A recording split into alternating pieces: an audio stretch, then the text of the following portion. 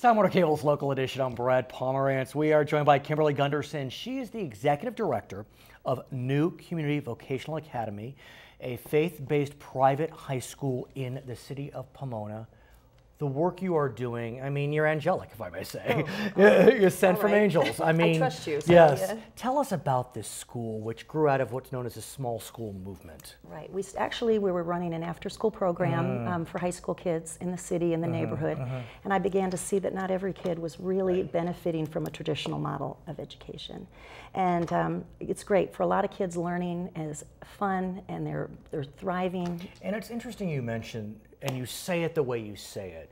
Because it's not as if these are necessarily bad kids oh, or discipline problems. No. They just are not able to learn at their maximum potential in a large school environment. Some of them are dealing with issues we never anticipated. Right. Some of them is an anxiety of large campuses, large classrooms.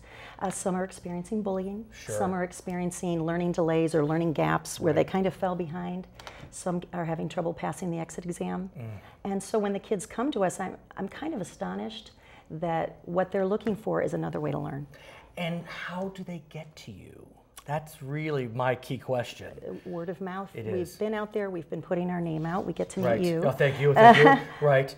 And at this stage, you have 17 students. Yes. But what's exciting from my viewpoint is that when you hear the term vocational, you presume it's a, a path that does not include a diploma or at least oh. college.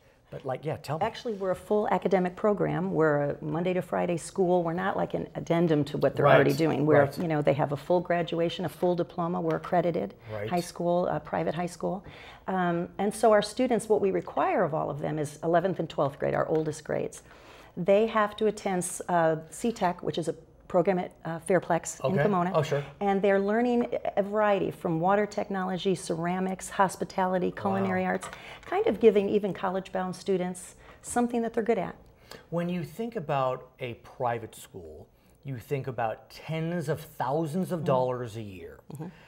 You're a private school, you're not tens of thousands of dollars a year. What's your tuition, if I may ask? Well, I always love to say we're $1,000 $1,000 a year. A year. Not thousands, 8,000. 8,000. And we're not supported by tuition, obviously. Right. We're supported by the donations of people who believe in what we're doing. That being said, even though your school is relatively affordable, for some $1,000 is a lot of money. Yeah.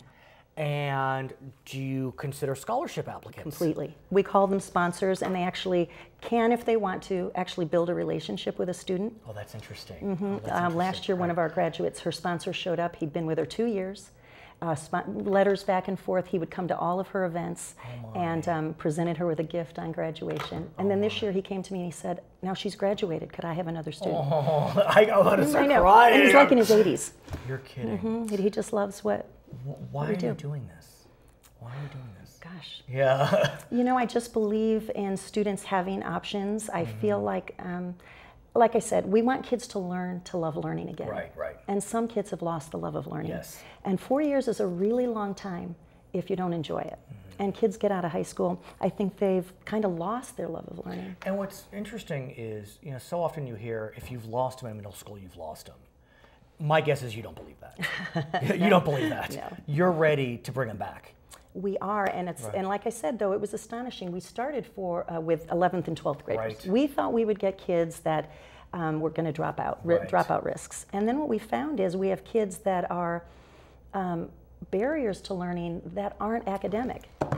Her name is Kimberly Gunderson. She is the executive director of the New Community Vocational Academy, NewCova. It is a private faith-based school in the city of Pomona doing remarkable work. Congratulations. I'm Brad Pomerance. It's Time Warner Cable's local edition.